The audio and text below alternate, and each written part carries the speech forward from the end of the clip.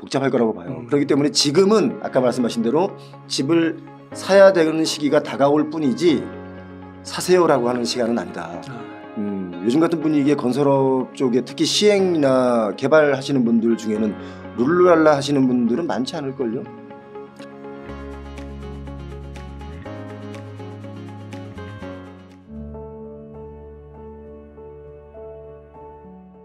오늘은 K 부동산 팩트 체크의 표영호 대표님을 모시고 이야기를 나눠보도록 하겠습니다. 대표님 안녕하세요. 네, 안녕하세요. 반갑습니다. 표영호입니다. 네 대표님 영상 잘 보고 있습니다. 요즘에 제 영상에 네. 관심 갖는 분들이 되게 많이 계시더라고요. 어, 그러니까요. 특히 그 유튜브 하시는 분들께서는 제 영상을 뭐 꼬박꼬박 다 보신다고. 네. 네, 어. 조회수가 엄청나신 것 같아요. 네, 우리 많은 애청자분들께서 제 영상을 좋아하시는지 네. 구독자 수에 비해서 영상 조회수가 많이 나오는 것 같아요. 네. 어, 이 자리를 빌어서 그동안 인사를 못했는데 다시 한번 고맙다는 말씀 드립니다. 고맙습니다. 아, 네. 아, 그리고 뭐 조회수도 조회수인데 그 이유 중에 하나가 네. 그 이렇게 데이터를 많이 보여주시는 그런 것들이 있는데 그 콘텐츠가 차별화가 돼서 어, 현장을 직접 가셔가지고 예. 뭐 상가면 상가, 지산이면 지산, 또 아파트면 아파트 되게 여러 가지를 이렇게 생생하게 보여주시더라고요. 저희가 이제 처음에 데이터만 가지고 여러분께 설명을 드렸는데 그 데이터도 사실은 눈으로 보지 않으면 그 현실감이 좀 떨어지잖아요. 네. 그래서 아 눈으로 좀 보여주자. 이 음. 데이터가 현실적으로 지- 뭐 진짜 맞는 것인지 입증해 주자. 음. 어, 그래서 나가기 시작한 거고 네. 어, 그런 것들이 이제 많은 분들이 반응을 해주시는 것 같아요. 아, 그러시군요. 그래서 이번에 이거 K부동산 팩트체크라는 책을 쓰게 되셨는데요. 이 책도 한번 소개 부탁드리겠습니다. 사실 처음에 이런 그 책을 쓸 생각은 없었는데 음. 이제 정말 이 책을 쓰기 시작했고 제가 유튜브에서 방송에서 그 부동산 이야기를 꺼내기 시작한 게 왜 그러냐면 정말 많은 분들이 잘못된 정보를 가지고 확신을 갖고 있더라고요. 네.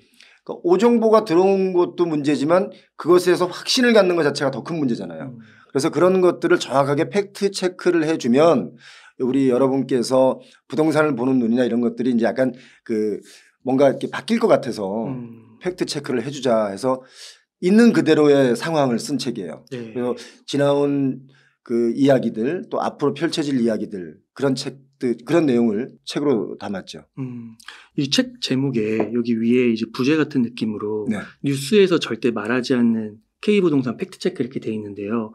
뉴스에서 왜 말하지 않는 게 있을까요? 어, 뉴스에서 말하지 않는다는 뜻은 뭐냐면 이제 뉴스라는 것 자체가 아, 매체에 따라서 약간의 그 달리 해석되는 것들이 있지 않습니까?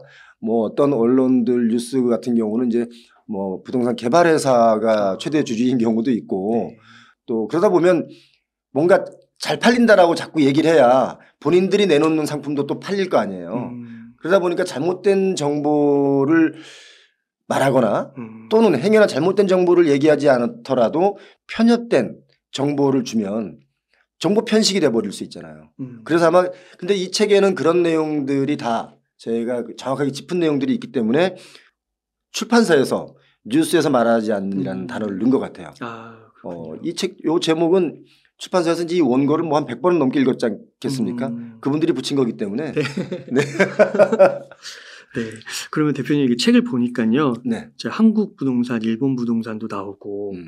아파트, 상가, 오피스텔, 막 꼬마 빌딩까지 네. 이렇게 막 폭넓게 다뤄주셨는데 네. 개인적으로 좀 궁금했던 게 되게 방송인으로서 활발하게 활동을 하시는데 네. 언제 이렇게 부동산에 좀 관심을 갖고 공부를 하고 전문성을 쌓은 것인지 저는 사실 그 네. 처음부터 부동산에 대해서 공부를 해야 되겠다라고 마음 먹고 공부를 한 건 아니었고요.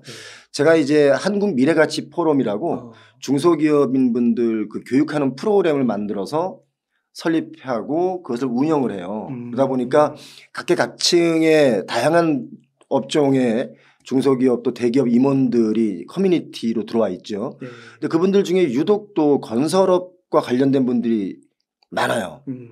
근데 그분들하고 한 15년 전부터 계속 교류를 하면서 아, 많이 배웠죠. 오히려 현실감 있게. 네. 그러면서 조금씩 관심을 갖고 또 제가 직접 오늘 나눈 얘기가 맞는지 확인하는 또 작업도 음. 제가 해봤고 네. 그러다 보니까 그런 것들이 한 15년 정도 쌓이다 보니까 조금 조금 눈을 뜬 것 같아요. 아, 아니 그래서 되게 말씀을 하실 때 음. 정말 이렇게 보는 사람으로 하여금 음. 확신 어허. 있게 딱 이렇게 말씀을 하시고 예. 굉장히 이렇게 확 몰입이 되더라고요. 아, 그래요? 네. 근데 그 이유가 이렇게 건설업에서 오랫동안 있으신 분들, 음. 그것도 기업에서 한 자리씩 하고 계신 예. 그런 분들하고 소통을 한 결과가 아닐까. 그리고 뭐 시행하시는 분들도 그렇고 음. 뭐 다양한 분들이 아무튼 건설과 관련된 분들이 제 주변에 많아서 그러니까. 또 그분들이 고마운 건 제가 물어보면 솔직하게 대답을 다 해주세요. 네. 뭐 이거 건물 팔아서 얼마 남았다까지 다 얘기해 주니까 어, 어, 이런 애 저런 애를 금방 파악하게 된 경우라고 할 수 있겠죠. 준거 집단이라는 것 자체가 음. 아, 우리 대표님께서도 준거 집단이 있을 거 아니겠어요? 네. 그러니까 나에게 어떤 그 생각을 하게 만드는 또 생각의 방향을 만드는 그럼으로 인해서 가치관도 형성이 되고 어, 또 그 안에서 정보도 얻게 되고 그럼에 따라서 내 행동이 그 방향대로 가게 되잖아요. 그렇게 영향을 주는 집단을 준거 집단이라고 하니까 뭐 가까운 친구나 또는 커뮤니티에 속해 있는 그런 사람들 음. 내가 자주 만나는 사람들이 준거 집단이잖아요. 근데 그분들을 잘 만나야 어, 공부도 제대로 할 수 있고 좋은 정보도 얻을 수 있고 하기 때문에 준거 집단을 잘 만나는 게 가장 큰 우선이다. 그래서 어, 유튜브를 보시는 분들 미디어를 접하시는 분들도 그 미디어가 나의 준거 집단이 될 수 있어요. 예를 들어 지금 우리 웅달 책방 같은 경우를 즐겨 보시는 분들은 웅달 책방에서 만약에 거짓된 정보를 주면 잘못된 오정보를 가지고 확신을 네. 갖게 되잖아요. 그렇죠. 이건 잘못된 준거 집단. 그런데 웅달 책방에서 좋은 정보를 주면 어 좋은 거에 확신을 갖게 되면 음. 좋은 준거 집단이 되는 거죠. 네. 그래서 표영호 TV에 사실 이런 말씀드리면 죄송하지만 최근에 1년 사이에 많은 분들이 열광했던 이유가 그런 분들에게 제가 좋은 그 준거 집단이 되어주고 있는 게 아닌가. 음. 그러려고 저희도 굉장히 많이 노력하거든요. 네. 잘못된 정보는 다시 한번 체크를 해보거든요. 그러고 나서 말을 하기 때문에 아마 준거 집단을 잘 만나는 게 정말 좋은 정보를 많이 얻고 음. 또 부동산이나 이런 걸로 실패하지 않을 확률을 높이는 길이다라는 거죠. 그 제가 그 표용호 TV 네. 들어가서 댓글들을 보니까 음. 대표님이 집 사지 말라고 2021년에 네. 말씀하셔서 돈 벌었다고 네. 그리고 참 다행이다라고 이런 댓글들이 달리더라고요. 네. 한두 개도 아니고. 제가 20년 제가 그 얘기를 분명히 했거든요. 네. 21년에 집 사면 반드시 후회한다. 네. 단 돈이 많은 사람은 살아. 어. 그 사람들은 돈을 잃어도 또는 집값이 반토막이 나도 후회하지 않을 사람들이니까 음. 그 사람들은 살아. 대신 어, 대출을 많이 일으켜서 내 집을 갖고자 하는 사람들은 21년에 집 사는 순간 음. 반토막 각오해라. 어. 그런데 그때는 제 말을 안 믿었어요. 그러니까요. 제가 20년에 그 말 할 때도 제 말을 안 믿었어요. 그때 집값 엄청 오르고 있었어요. 네. 근데 왜 그때는 왜 오르냐면 끝물이잖아요. 어. 어, 가만히 보시면 정말 중요한 얘기예요. 음. 2020년에 집값이 폭등했거든요. 그런데 사람들이 더 오른다고 바르, 그 바, 이렇게 바람을 잡으니까 21년에 거래량은 줄었는데 집값은 또 뛰었어요. 음. 이거 뭐예요? 거품인 거예요. 네. 원래 그 부동산의 가격이 오르면 거래량이 늘어요. 가격이 내리면 거래량은 줄어요. 왜 그러냐면 어, 나는 내 집이 이렇게 내렸다는 것을 인정하고 싶지 않기 때문에 매매에 나서지 않아요. 음. 그러니까 팔려는 사람들이 줄어들면 당연히 거래량이 줄죠. 네. 그런데 지난 22년 작년부터는 어떤 일이 벌어졌냐면 어, 거래량은 줄었는데 매도를 하려는 사람들은 늘어났어요. 음. 그러니까 매수자 우위 시장이 어. 된 거잖아요. 네. 더 하락할 수 있다는 시그널은 다 그런 데서 나오는 거죠. 음. 어, 그런 거를 좀 본다면 제가 아무튼 그렇게 했더니 그때 진짜 집을 안 산 분들이 있어요. 제 말 듣고. 어. 그분들은 뭐 10억을 벌었네. 어. 그러니까 보이지 않는 돈이지만 맞아요. 예를 들어 제 말을 안 듣고 그냥 집을 산 사람은 20억에 샀다면 음. 제 말을 듣고 기다린 사람은 뭐 한 11, 2억에 샀잖아요. 잠실 같은 경우도. 그러니까 오히려 그만큼 돈을 벌었다라고 하는 댓글들이 정말 많이 달렸어요. 음. 어, 그래서 그 중고 집단으로서 네. 어떻게 보면 그분들은 이제 뭐 운이든 아니면 음. 실력이든 음. 그렇게 해서 이제 표용호 TV를 보게 되신 거고 음. 그렇지 않은 좀 중고 집단을 만나신 분들은 조금 의사결정에 있어서 좀 실수를 하신 거고 그렇죠. 그러니까 그때그때 따라서 중고 집단을 잘 두는 게 네. 정말 중요한 일이다. 음, 라는 생각이 들어서 네. 중고 집단을 잘 돌아라고 얘기했던 거죠. 네. 그럼 질문 하나만 좀더 예, 드려보면요. 대표님께서 이제 최근에 이렇게 현장을 이렇게 막 누리시면서 말씀을 하시는데 지금 공실 상황도 굉장히 처참하더라고요. 아, 공실 너무 많습니다. 네. 뭐 그런 걸 좀 보실 때 좀 지금의 부동산 이런 약간 하락 기조 이런 게 조금 더 지속될 거라고는 보시는 거예요. 당연히 지속이 된다고 보고 있습니다. 아. 뭐 과연 이게 언, 언제까지 지속될 것이다라고 하는 것은 아직까지 그 데이터를 좀 더 봐야 되겠지만 음. 실질적으로 숫자상 또는 여러 가지 데이터상에 나오는 것들로만 봐도 앞으로의 그 하락 기세는 좀 더 이어질 수 있는데 네. 다만 요즘 뉴스 나오는 내용 중에 여러분 헷갈리시는 내용이 있는데 네. 하락폭이 축소됐다라는 음. 표현을 쓴단 말이죠. 어. 굉장히 어지러운 말이에요. 어. 왜냐하면 하락폭이 축소됐다라는 음. 말은 예전에는 100, 100에서 80, 음. 70, 음. 60 이렇게 내려오던 게 하락폭이 컸잖아요. 이렇게. 네. 근데 요즘은 60에서 59, 네. 58 네. 또는 어떤 데는 60에서 약간 반등, 어. 61, 62 이러니까 집값 반등했다. 하락폭이 축소됐다. 그러니까 잘못된 시그널을 줄 수 있는 게 뭐냐면 음. 아 지금 집을 사라는 거구나. 음. 라는 걸로 시그널을 받을 수가 있죠. 바닥 찍었구나. 바닥 찍었구나. 어. 그래서 바닥이 언제냐고 또 물어보시는 분들이 있거든요. 네. 그건 제가 웅달 책방에서 다음 편에 to be continue. 아. 네. 그러면 한 가지로 이제 지금 이제 집을 사시려고 마음 먹으신 분들은 지금 해야 할 일은 기다리는 걸까요? 현금 모으면서. 지금은 그 금융 체력을 좀 기를 때예요. 네. 제가 오늘도 사실 오면서 제 휴대폰에 네. 그 문자 메시지가 하나 찍혔거든요. 음. 어, 4점 정확하게 제 문자를 제가 보- 읽어드릴게요. 네. 어, 저도 뭐 대출이 없지 않지 않습니까? 어, 저도 대출이라는 게 있는데 네. 어, 요즘 금리가 내려간다라고들 말씀하시는 분들 많이 있잖아요. 네. 사실 뭐 금리가 지금 멈추거나 내려간 것도 있어요. 음. 하지만 대체적으로는 올랐어요. 네. 오르고 있고. 어, 아 금리가 올랐다고요? 안 올랐습 안 올랐습니까? 어. 본인 뭐 대출 없습니까? 아니 좀 떠, 떨어지지 않았나? 그건 뉴스에서 나오는 얘기고요. 아 그래요? 제가 실질적인 얘기를 제가 엊그저께 받았던 거를 제가 음. 제가 농협은행에 대출이 있고 네. 뭐 다른 은행에도 뭐 한두 개 더 있는데 네. 네, 그건 뭐다 어, 변경 전 적용 금리 알려드립니다. 어. 어, 이게 언제 날짜냐면 4월 23일 날짜니까 네. 엊그저께 일이잖아요. 네. 어. 기준금리 2.52 어. 계산해 보세요. 기준금리. 네. 거기다 가상금리 1.70 어. 이게 기준금리 3.71 어. 거기다 가상금리 1.70 어. 이래서 4.22%가 5.41%로 금리가 올랐습니다. 1.2 이상 올랐네요. 그렇죠. 네. 이렇게 저한테도 문자가 아, 왔는데 그렇구나. 그러니까 이제 금리가 내려간다라고 하는 그 희망 음. 어, 또는 뉴스에서 코픽스 금리가 상승을 멈췄다. 음.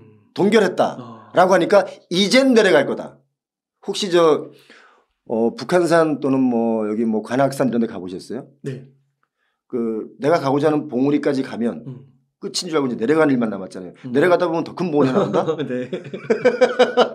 어, 여기 끝인가? 해서 가봐. 어제 이 내리막이야. 네. 아, 이제 내려가야지 하고 내려가는데 뭐가 또 나온다? 네.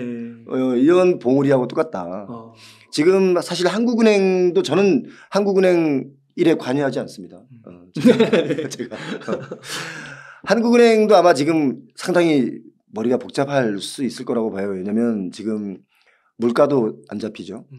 네, 경기 침체가 염려되기 때문에 위축이 될까봐 염려되는데 어, 환율이 또 오르고 있잖아요. 음. 그러니까 이걸 계속 고정해서 아니, 멈춰야 되는지 아니면 한 번 더 0.25로 가야 되는지 막 이런 것이 아마 굉장히 그 총재님께서도 복잡할 거라고 봐요. 음. 그렇기 때문에 지금은 아까 말씀하신 대로 집을 사야 되는 시기가 다가올 뿐이지 사세요라고 하는 시간은 아니다. 아. 음, 여유 있다면 막 밑에서 내가 돈이 많은데 돈에 막 밑에서 숨을 못 쉬어 얘가. 아, 숨 못 쉬는 내가 살려줘야지 하고 얘 돈을 꺼내서 집을 사는 건 제가 말리지 않습니다. 음. 하지만 뭐 대다수의 우리나라 국민들이 그 자산 분포도를 보면 한 80%가 내가 가지고 있는 부동산이 음. 있거든요. 내 재산이 만약에 100이라면 한 7, 80%가 부동산에 있단 말이죠. 그런데 부동산에 그 많은 돈들 중에도 또 대출이 껴 있잖아요. 네. 이렇게 되면은 점점 더 어려워질 수 있기 때문에 좀만 더 기다리고 금융 체력을 길러라. 이런 말씀을 제가 드리고 싶습니다. 음. 그 한국 미래 포럼이라고 하셨나요? 한국 미래 가치 포럼. 미래 가치 포럼. 예, CEO 분들이 모여서 뭐 인문학적인 것, 음. 그다음에 경제적인 것 서로 공유하면서 음. 공부하는 스터디 포럼이에요.